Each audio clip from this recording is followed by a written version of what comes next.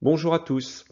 Alors nous allons regarder quelques jeux de hasard comme des jeux avec des pièces, avec des piles, piles et faces, des cartes à jouer, des labyrinthes, etc. Et surtout nous allons voir comment euh, trouver donc les probabilités de gagner en utilisant euh, euh, des, graphes ou des simulations en JavaScript ou, en Python. Alors on va voir que le bagage mathématique est vraiment très très minime et que c'est à la portée de n'importe quel élève de, lycée. Alors pour le premier jeu, donc il va être vraiment intuitif, on va parier euh, sur pile-pile et on perd si c'est euh, l'autre face qui, sort. Alors par exemple, on lance une pièce, on tombe sur pile, donc pour l'instant je peux éventuellement gagner, et euh, la pièce tombe sur face. Donc comme face vient de tomber à ce niveau-là, je perds. Donc j'ai perdu. Si maintenant la face, euh, c'est face dès, le début, je perds. Et si j'obtiens pile et pile, à ce moment-là, je gagne. Voilà, donc là, on a différentes configurations. Alors la question, c'est quelle est la chance de gagner?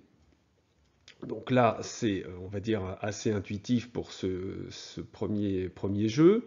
Donc on a la situation de départ, donc pour l'instant on n'a ni pile ni face, et on peut donc obtenir P, donc pile, ou obtenir face avec à chaque fois une chance sur deux, donc je vais noter ça un demi, un demi, j'ai une chance sur deux d'avoir pile, une chance sur deux d'avoir face, et pour avoir à nouveau donc pile, je vais encore avoir donc ici une chance sur deux mais je peux obtenir face avec une chance sur deux.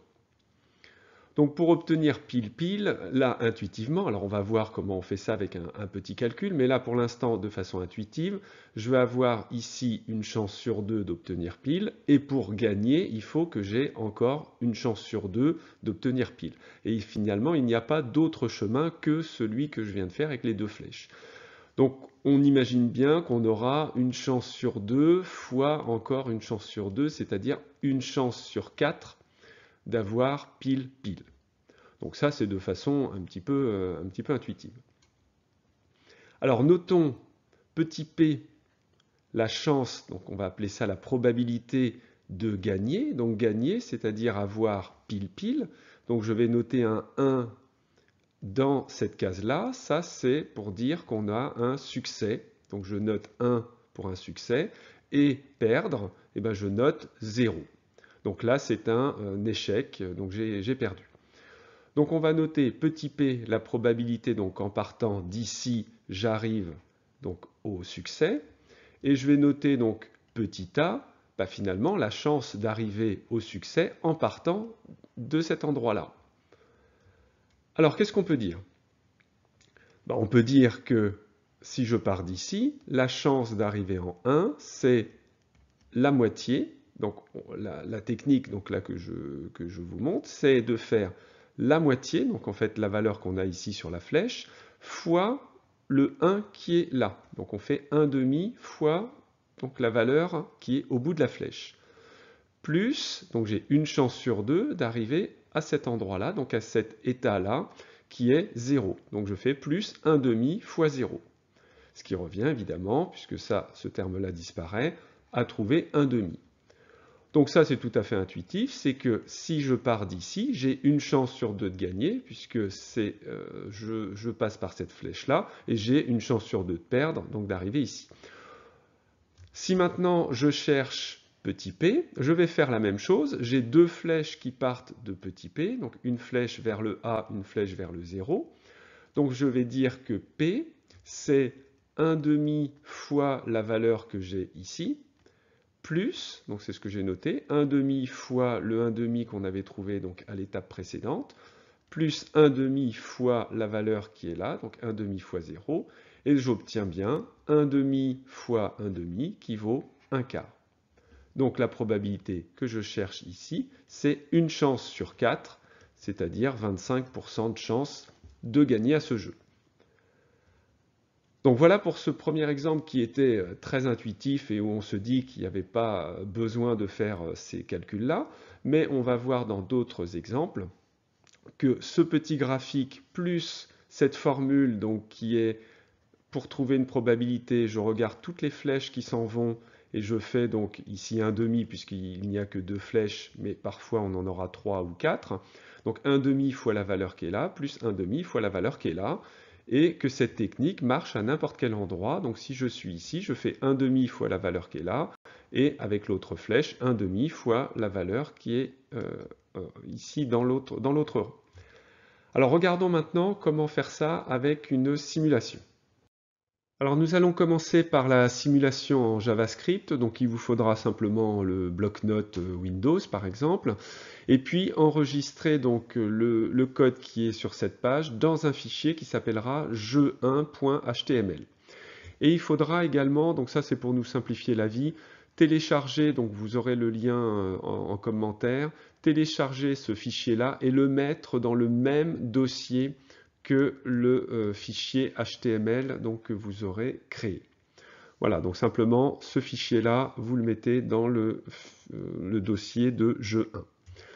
Alors maintenant, comment ça marche? Donc on va avoir euh, l'affichage qui se fera ici, donc dans un div qui s'appelle sortie. Et puis donc notre, notre jeu consistait à partir d'une position de départ et à chaque fois euh, avoir pile ou face et puis à partir de pile avoir donc pile pile ou face. Donc c'est le graphe qu'on a ici. On dit que si on est dans la position D, il y a deux possibilités. Donc on met un petit crochet et on énumère les différentes possibilités. Donc à partir de D, on peut avoir pile ou face et à partir de P, on peut avoir donc PP ou F. Et à partir de F, il ne se passe rien, le jeu est, terminé. Donc voilà le graphe de, ce jeu. Ensuite, j'ai une variable qui s'appelle fin, c'est quand est-ce que le jeu se termine. Donc le jeu se termine lorsque je gagne. Donc la position où je gagne, je la mettrai toujours en premier. Donc PP, je le mets en premier. Et la position où je perds, je le mets en deuxième. Donc ici, c'est si j'obtiens face. Ensuite, on va faire 5000 fois le jeu. C'est-à-dire qu'un jeu, c'est je pars d'ici, j'ai par exemple pile et face. Voilà, le jeu est terminé. Ou alors, je pars d'ici, j'ai pile et j'ai pile pile, le jeu est terminé. Donc on va répéter ça 5000 fois. Donc on va avoir ici une boucle qui va répéter donc 5000 fois le jeu. Le jeu consistant à partir de la position D, donc je pars d'ici. Et maintenant, donc voilà le cœur du programme, tant que le jeu n'est pas fini. Alors ça veut dire quoi que le jeu n'est pas fini? C'est que la position n'est pas dans fin. Donc tant que la position n'est pas là-dedans, donc par exemple j'ai P ou j'ai D, et eh bien à ce moment-là, le jeu n'est pas terminé. Donc tant que la position n'est pas dedans, alors comment on va écrire ça? On va utiliser donc la fonction contains, qui est dans cette bibliothèque là, underscore. Donc on va, plus précisément, c'est si on regarde juste le contains fin position, ça veut dire est-ce que fin contient position? Alors nous, c'est pas tant que fin contient position, mais c'est plutôt l'inverse, c'est tant que fin ne contient pas position, donc tant que la position n'est pas là-dedans, on doit continuer à jouer. Alors le ne contient pas, ça va être le point d'exclamation, donc qui est ici la négation. Donc on a la négation de ce qui est juste après. Voilà, donc ça en français, donc ça, ici ça paraît un petit peu compliqué, mais c'est tant que fin ne contient pas position, on continue à jouer. Alors qu'est-ce qu'on fait? Ben, On dit que la nouvelle position, c'est d'aller prendre au hasard, donc on imagine par exemple qu'on est ici en P, donc on va aller regarder le graphe à la position P, donc le graphe à la position P, j'ai ces deux possibilités-là. Donc il va tirer au hasard, donc il va prendre un échantillon ici. Donc il va prendre un élément. Alors pourquoi 1 C'est parce qu'on a mis un 1 ici. Donc il va prendre un élément au hasard parmi donc, la liste qui est là. Alors, si on résume déjà ce qu'on a, a, vu, si j'appelle fin, donc pp et f, donc c'est un tableau, donc array c'est un tableau, et si on demande est-ce que fin contient f, il nous répond vrai. Et si on demande, puisque euh, fin est ici, si on demande est-ce que fin contient P, là il va nous répondre faux, puisqu'il n'y a pas de P euh, tout seul dans ce tableau. Et ce qu'on vient de dire par rapport à sample, c'est que, euh, par exemple, si je regarde graphe D, donc graphe D c'est un tableau, c'est celui qui est là, hein, le tableau où il y a P et F, et si on lui demande de tirer un échantillon de un élément parmi un tableau, il va nous dire par exemple j'ai tiré le 5. évidemment, il aurait pu tirer le 1, le 2, etc.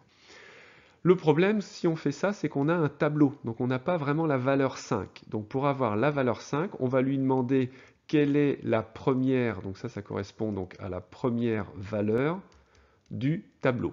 Donc quelle est la première valeur du tableau qui vient de, de tirer au hasard? Et donc à ce moment-là, on aura bien un nombre. Donc là, en l'occurrence ici, il a dû tirer le 3, donc il a dû afficher 3 entre crochets, et on lui demande quel est le premier élément de ce tableau-là, et donc effectivement c'est bien 3. Donc tout ça permet de tirer un élément au hasard à partir de la position où on est actuellement.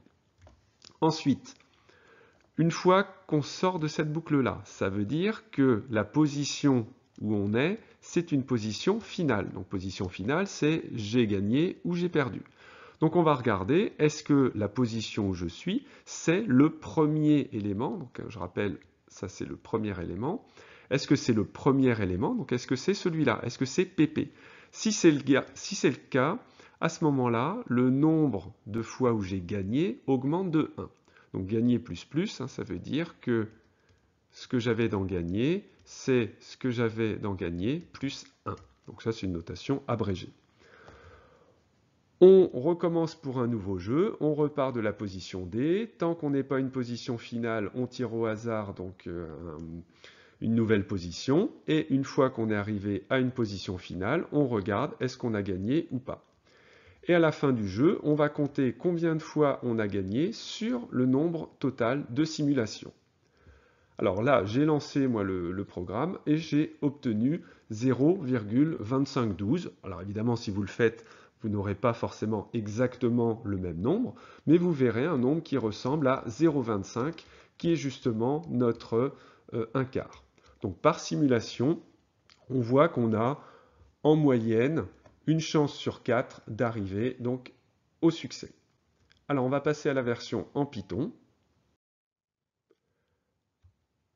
Alors voilà, pour Python, donc ça, ça veut dire que vous êtes dans un environnement euh, que vous connaissez euh, pour euh, ce logiciel-là. Donc qu'est-ce qu'il faut faire? Il faut importer donc la bibliothèque random pour pouvoir tirer des nombres au hasard et puis choisir au hasard des nombres.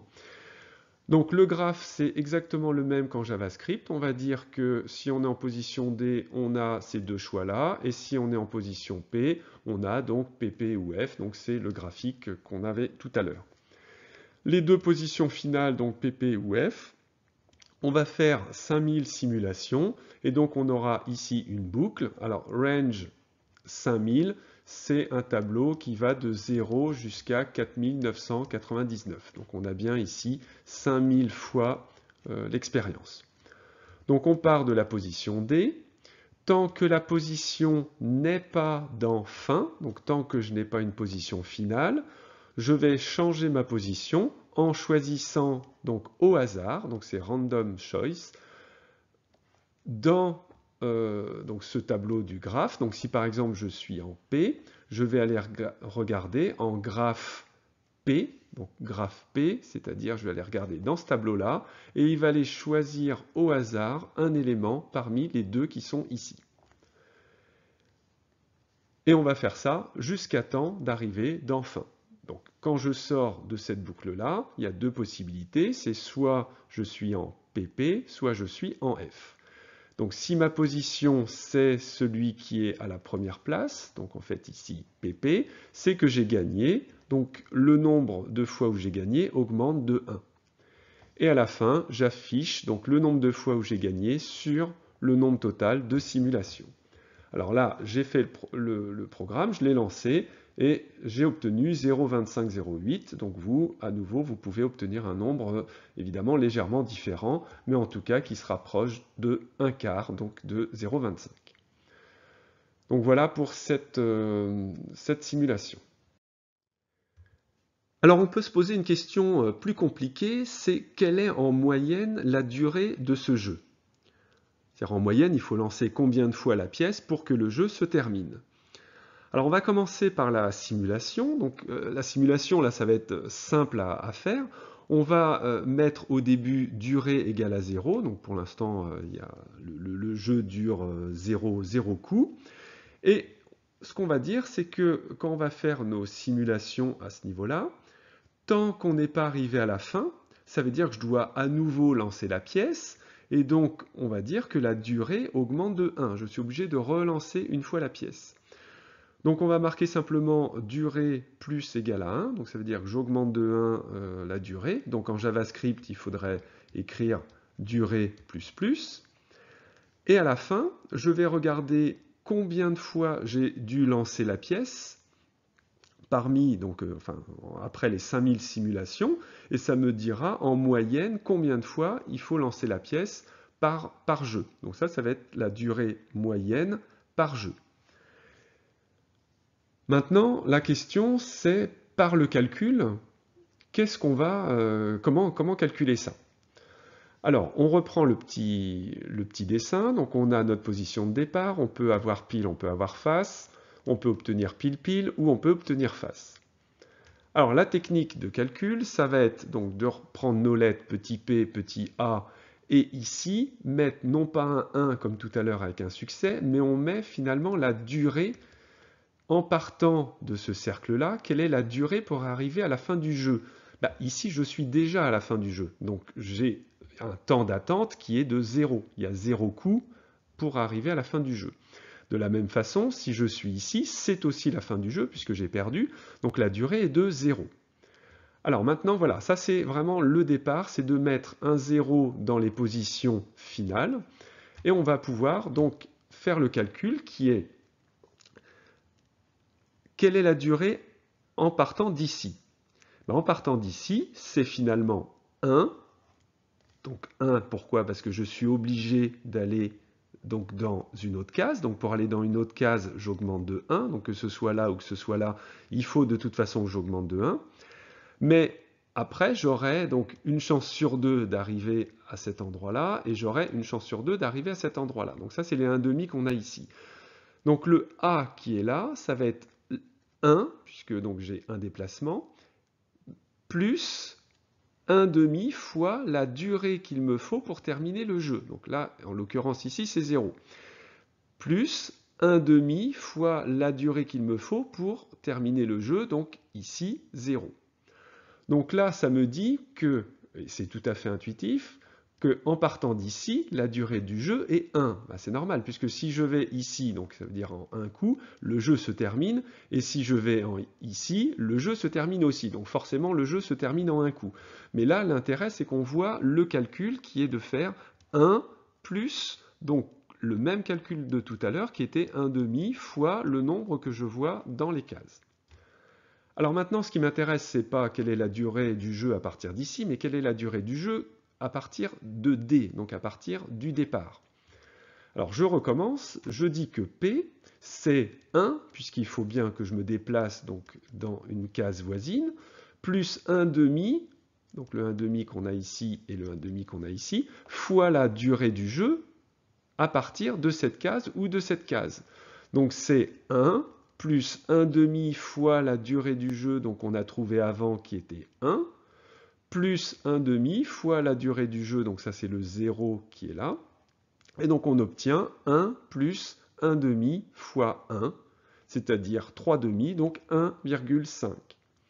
Donc on vient par un calcul de montrer qu'il faut attendre en moyenne un coup et demi pour avoir la fin du jeu. Donc parfois on l'aura en un coup, on voit bien ici, parfois on l'aura en deux coups, donc ça c'est quand j'arrive ici, donc là en deux coups je peux arriver là, en un coup je peux arriver là, et en fait en moyenne, en jouant 5000 fois par exemple à ce jeu, vous verrez que si vous faites la moyenne, vous arriverez à 1,5.